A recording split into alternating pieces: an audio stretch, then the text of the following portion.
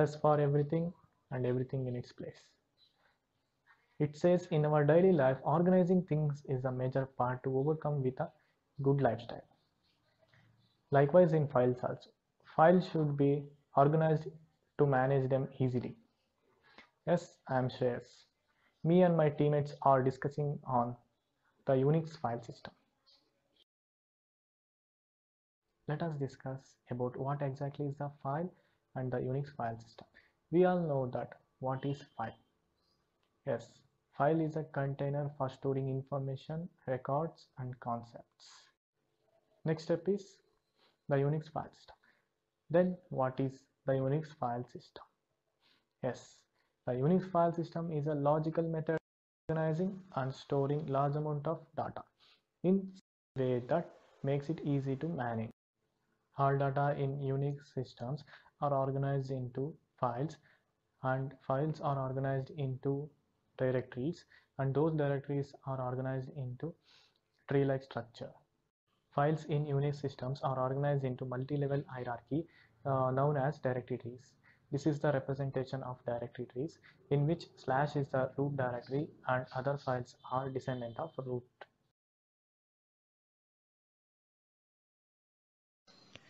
Here are some additional information about file system. Everything in Unix is considered as a file, including physical devices such as CD-ROMs, USB drives, floppy drives, and so on. Input and output devices are also considered to be files in Unix system. Every files in file system has a unique name with a unique inode number. Files on the Unix system are grouped into directories, same as folders in Windows environment. On a Unix system, everything is files. If something is not a file, it is a process. File attributes are kept in a separate location in the disk.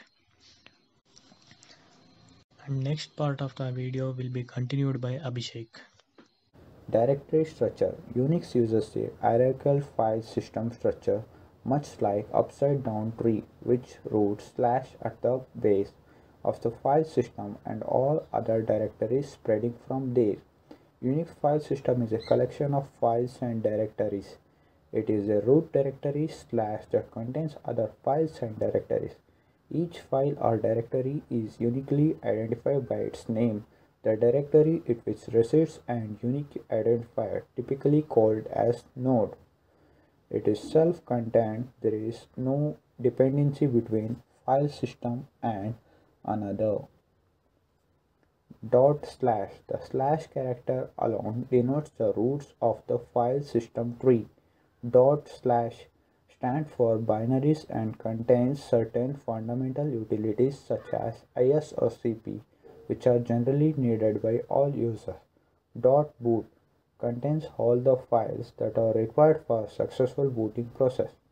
Dot dev stands for devices contains file representation of peripheral device and pseudophore devices. Dot slash etc contains system-wide configuration files and system database.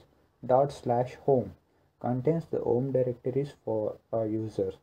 Dot slash lib contains system libraries and some critical files such as kernel modules and Here I am Shashank and here I am giving a presentation about uh, creating a file system in a Unix. Uh, there are mainly three steps for creating a file system in a Unix.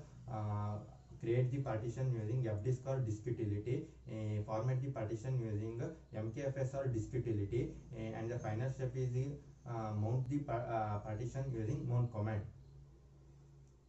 Creating a file, we can use a simple command called as touch command. Uh, if the file is already exist, it will override that file with a new timestamp. Uh, like it is uh, updating the updating that file uh, with a different name and uh, what we have written in that updated file will be saved.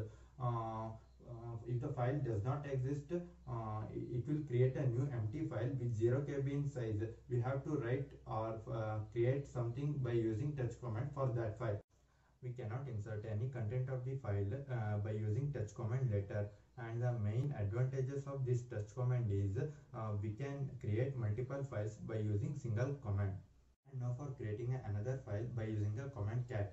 The main difference between cat and the touch command is uh, in touch command I had already told that if the file is already exist it will create a new empty file with 0 kb in size whereas in cat command if the file is already exist it will not create a uh, same file with same tertiary. Uh, if the file does not exist it will create a new file Ctrl plus D keyword is used to come out of all the files after placing the content uh, and the main disadvantages of this uh, cat comment is uh, only single file can be created at a time hence the multiple files cannot be created at a time.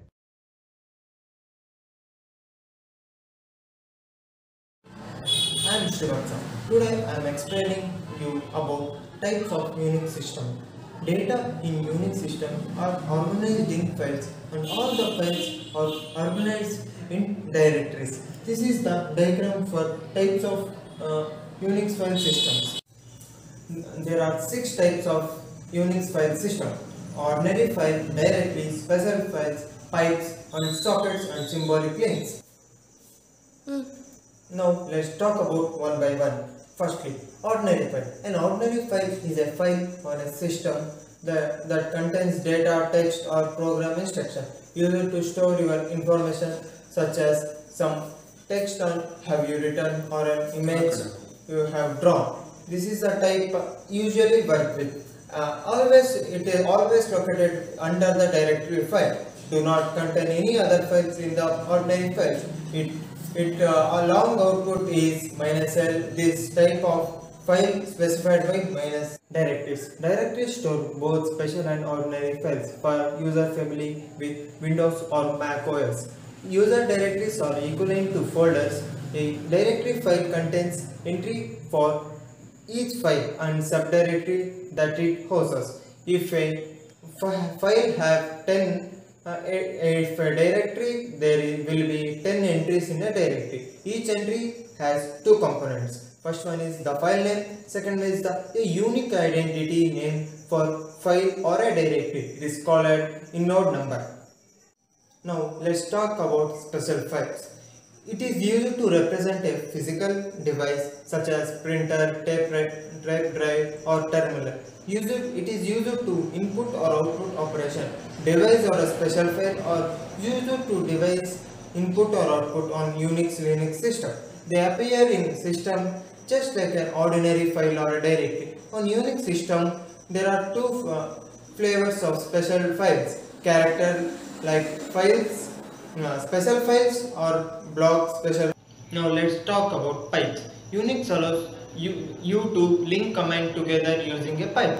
The pipe acts as temporary file which allows exists to hold data from one command until it reads another. A Unix pipe provides one-way flow of data. The output of result of the first command sequence is used to input to second command sequence to make a pipe put a particular bar on a command line between two commands of for example whose pipe wc-l. Let's talk about sockets a unix socket is a special file which allows for advanced inter-process communication a unix socket is used in client server application frame framework in enhance it is a stream of data very similar to network stream uh, under network sockets but all also translate the local to file system in a local format output is minus L. Unix socket are marked by S. Now let's talk about symbolic link. It's a large type of Unix file system. Symbolic link is used for referencing some other file of the file system. Symbolic link is also known as soft link. It contains text from the of the path the file references to an user. Symbolic link will be appearing have some own name but when you try reading or uh, writing uh, data to the file it will be instead reference there is operation to file it points to. The soft link itself the data will still be there. If we delete source file or move it into the different location symbolic file will be not functional properly. In a long format of output uh, is represented by a symbol L.